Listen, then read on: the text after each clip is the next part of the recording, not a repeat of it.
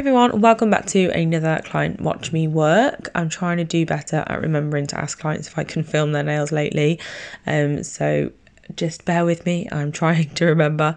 So I'm just doing another infill here of Builder Gel, obviously, because I only do gel services now. So it's always going to just be Builder Gel infills or a gel polish application, which to be honest, I don't really do that often. So I'm probably never really going to film that.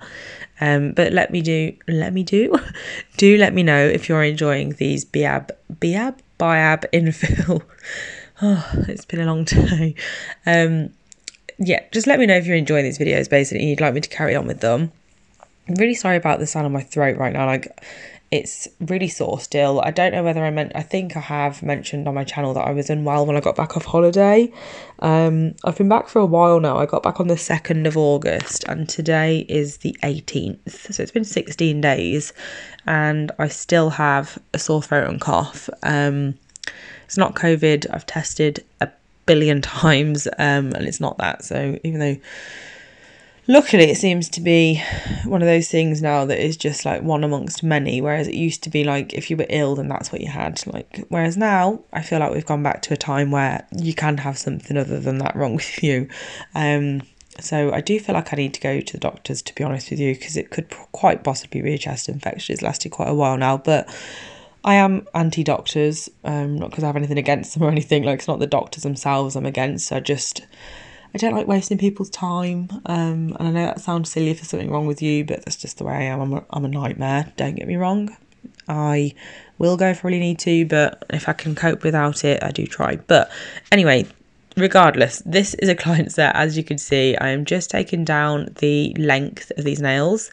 Um, this client wanted a glitter French with the Tia's Beauty holographic lavender dust, and it turned out beautifully. It looked really, really cute. Um, so I just took down the length and a bit of the bulk because obviously if you take down the length, your structure is going to change and blah, blah, blah. So apex moved and all that fun stuff.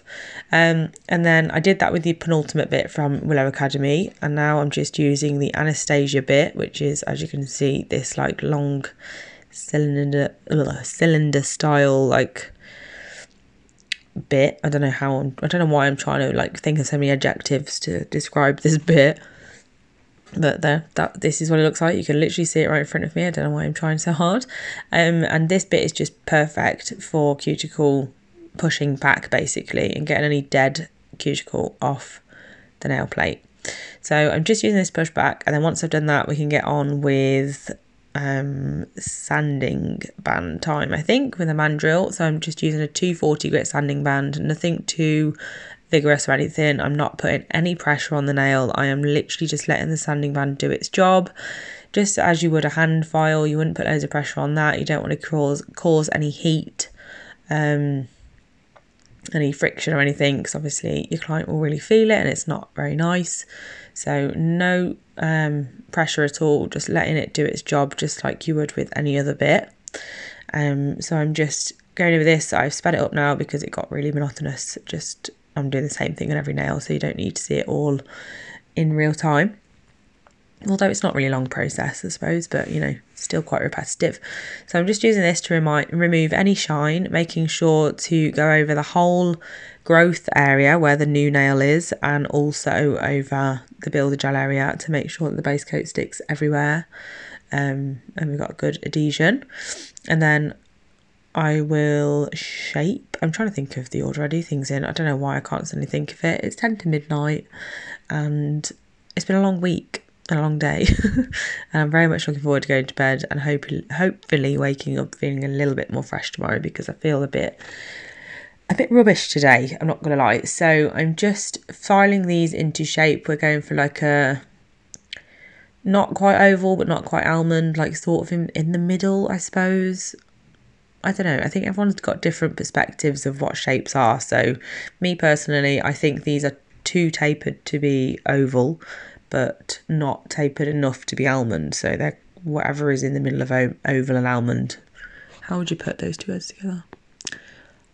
Ov, almond, mund, ovmund, almond, oval, al, al, Alval. Oh, I don't know. It's obviously not a thing. I'm just making up.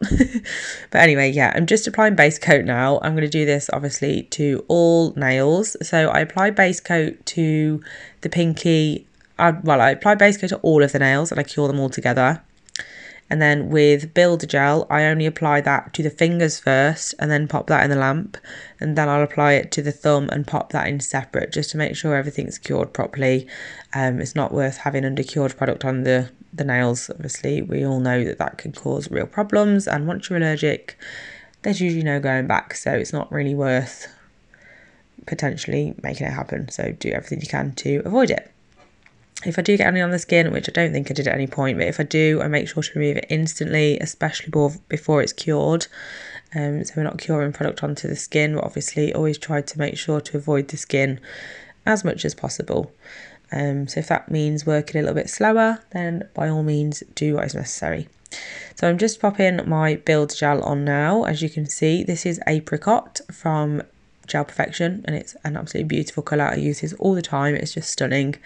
Um, so I'm just popping this on, doing a thinner layer first and then as you can see here, just adding a bit of a bit more bulk to it basically and then I'm using my striper brush to go over and move that around and manipulate it to where I want it popping any air bubbles along the way and then once I'm happy, obviously this hand can go in the lamp. I think I only showed two on camera. Yeah. And then I've just removed the tacky layer because obviously we're going to be going in with a dust and I don't want it to stick everywhere. And then I'm going to paint on a French.